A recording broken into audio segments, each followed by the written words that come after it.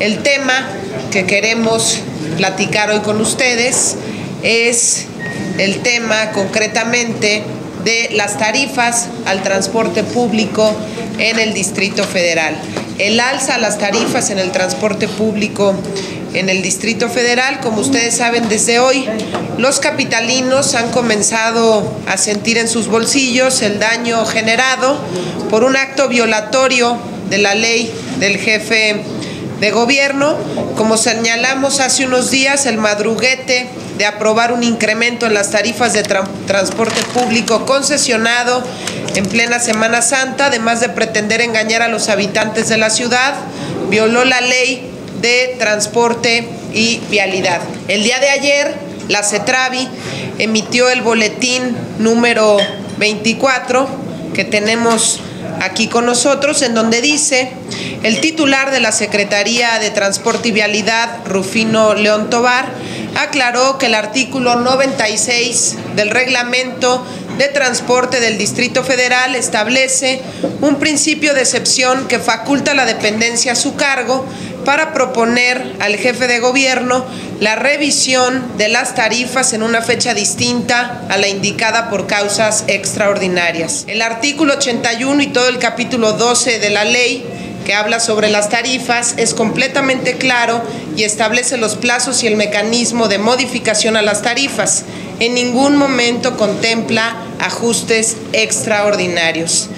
Y como desde hoy comienzan los efectos del alza, queremos compartirles que hoy mismo los ciudadanos que así lo decidan podrán descargar el formato para interponer su juicio de amparo. Bueno, primero decirles que va a ser a través de dos vías que vamos a poder apoyar a los ciudadanos que tengan interés en presentar un juicio de amparo para evitar el alza a los precios de las tarifas de transporte público. La primera de ellas tiene que ver con la que brindaremos a través de nuestras oficinas de atención ciudadana de los senadores por el Distrito Federal, así como de los diputados federales y de los diputados locales del PAN. Cada uno de nuestros módulos estará al servicio de los ciudadanos y podrán acudir de manera directa a pedir asesoría y a que se les expida ahí un amparo para poderlo presentar y evitar el alza a la tarifa. La otra vía tiene que ver con eh, Internet, a través de nuestras páginas de Internet, tanto de los grupos parlamentarios como de cada uno de los legisladores,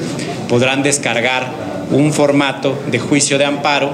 el cual podrán presentar. No solamente estamos preocupados por promover el juicio amparo, sino también por darle seguimiento y hay que recordar que con la nueva ley de amparo, con que dos juicios sean ganados, se puede promover que esta disposición sea derogada en el Distrito Federal. Así que no solamente los vamos a ayudar a que lo promuevan, sino que también se le va a dar seguimiento. Asimismo, presentaremos otro punto de acuerdo para que eh, pueda informarnos el secretario de Transporte y Vialidad del gobierno del Distrito Federal para que pueda comparecer ante la Asamblea Legislativa y nos expliquen esta decisión que han tomado y sobre todo que rectifiquen, que se den cuenta, como bien lo ha dicho la senadora, que han violado la ley. Y es por eso que vamos a estar en el PAN en la Asamblea Legislativa en coordinación con la senadora Mariana Gómez del Campo y con el PAN del Distrito Federal en esta campaña para defender a los ciudadanos ante estas acciones de autoridad que son sin duda este, autoritarias y que vulneran y afectan la economía de los ciudadanos del Distrito Federal. El primero que tiene que cumplir la ley en esta ciudad es el jefe de gobierno y por supuesto hacer en consecuencia que los ciudadanos cumplan con la ley. ¿Con qué cara le va a pedir a los ciudadanos que cumplan con la ley, con las diferentes leyes y con los reglamentos si él mismo está violentando el artículo 81 de la ley de transporte y vialidad de nuestra ciudad.